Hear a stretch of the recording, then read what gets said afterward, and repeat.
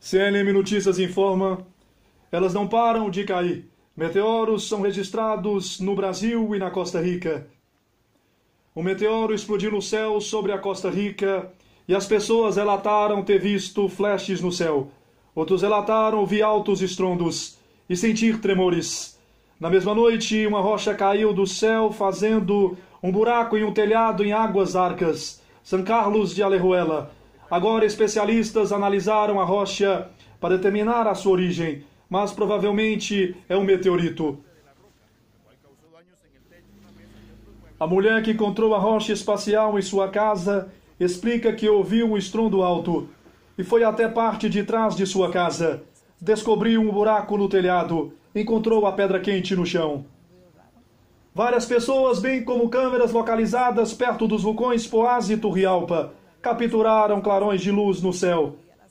Provavelmente a partir da desintegração e explosão do meteoro.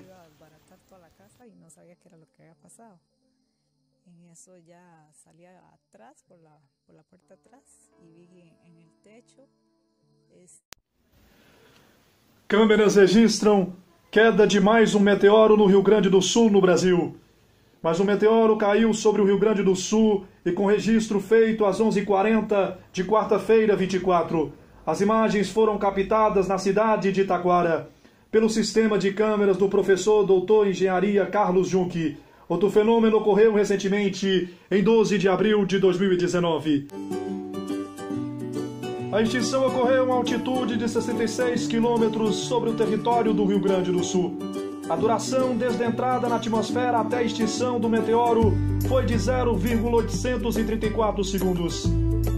O meteoro pode ser visto a olho nu e possui uma magnitude inferior ao registrado em 12 de abril e sua extinção ocorreu em uma altitude maior. A queda de meteoros tem sido comum no ano de 2019 e aumentou drasticamente. No entanto, o que ocorre em menor número é o registro desses meteoros com maiores magnitudes. Comenta o especialista Carlos Jung.